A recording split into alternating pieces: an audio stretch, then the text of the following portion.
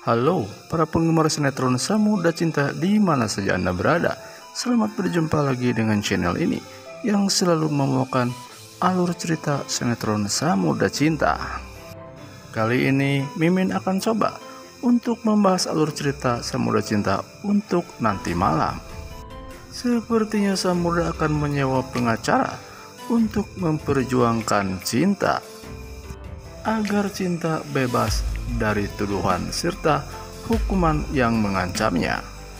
Namun kepada yang baru saja bergabung jangan lupa like, komen, serta subscribe-nya esok serta aktifkan lonceng notifikasinya.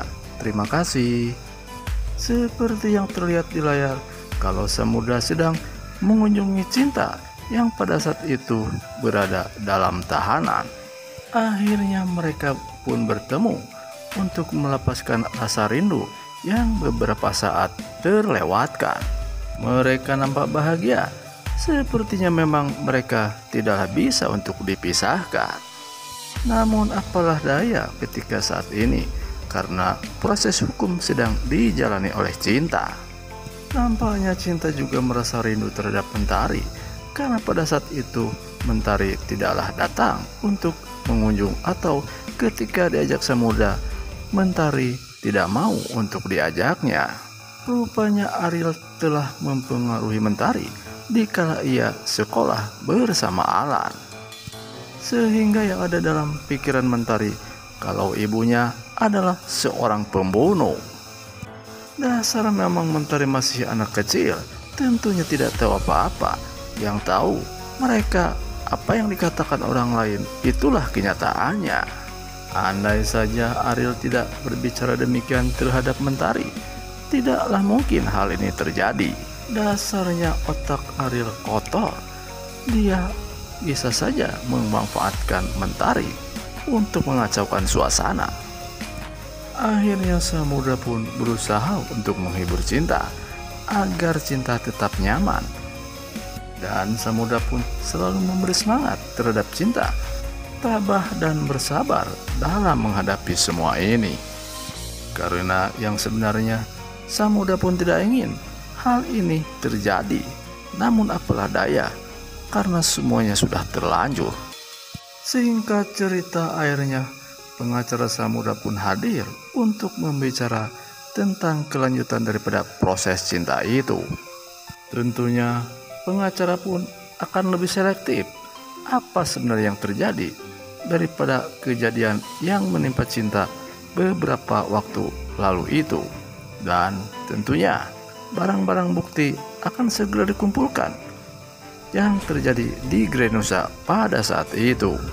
Pada intinya Samudra akan berusaha melalui pengacaranya agar persoalannya bisa dibuka dengan terang benderang tanpa ada rekayasa ataupun unsur kesengajaan untuk menjerumuskan orang lain agar orang lain celaka.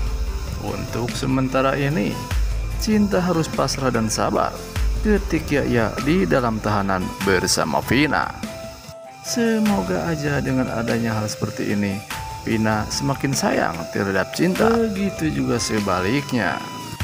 Namun rupanya di sisi lain, Andrian sepertinya memojokkan cinta dalam hal ini sehingga ia pun memberitahukan kepada yang lain, terutama kepada Ariel.